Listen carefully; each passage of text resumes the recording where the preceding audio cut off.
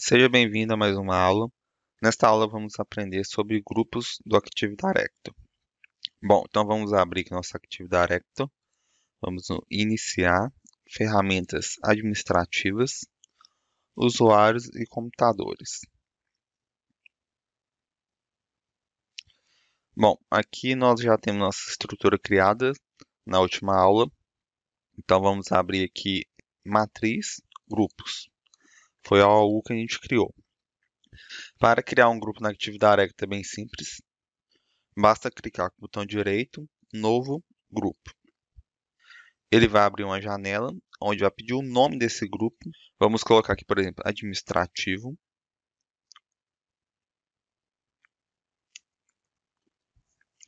E aqui embaixo ele traz algumas opções. A primeira delas é escopo do grupo. O que seria isso? Nós temos aqui três opções: domínio local, global e universal.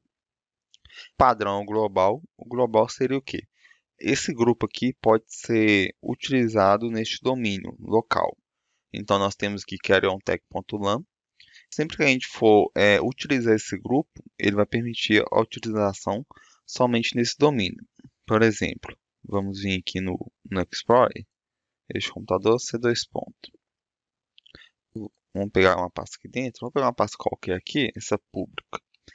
Eu vir aqui na aba Segurança, editar aqui, para, adicionar um grupo, repare que aqui em locais nós temos Carrion Tech.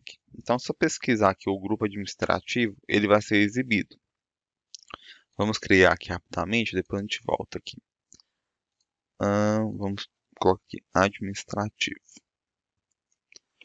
coloca aqui verificar nome, apareceu administrativo, eu consigo adicionar esse grupo aqui. E ele está com a permissão global. Então, no domínio Cariontech, ele pode ser utilizado. Se eu tivesse um outro domínio, um subdomínio, por exemplo, uma filial, sãopaulo.cariontech.lan. No domínio de São Paulo não iria aparecer esse usuário administrativo.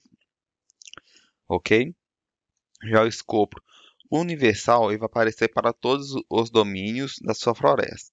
Então, ele iria aparecer tanto para o, o Cariontech, tanto para, se eu tivesse aqui uma filial São Paulo, São Paulo.cariontech, entendeu?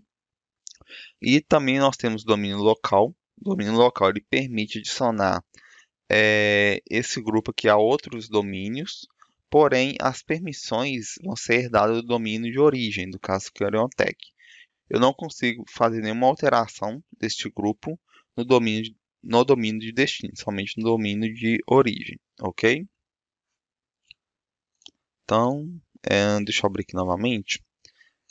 É, para adicionar um usuário aqui ao grupo, é bem simples, basta a gente vir aqui em membros, adicionar. Então, posso pôr aqui a Ana, que a gente criou. Então, dessa forma, a Ana faz parte do grupo administrativo. Então, todas as permissões que eu precisar aplicar para a, o setor administrativo, eu posso utilizar o grupo, que essa permissão vai ser aplicada para todos os usuários que fazem parte desse grupo. O grupo aqui do, do Active Directory não tem muito segredo, a configuração é bem simples, basicamente ele é para, realmente agrupar os usuários. Mas aqui, é, normalmente a gente cria os grupos para os setores e para alguma demanda específica onde a gente precisa aplicar é, uma permissão para vários usuários, ok? Até a próxima aula.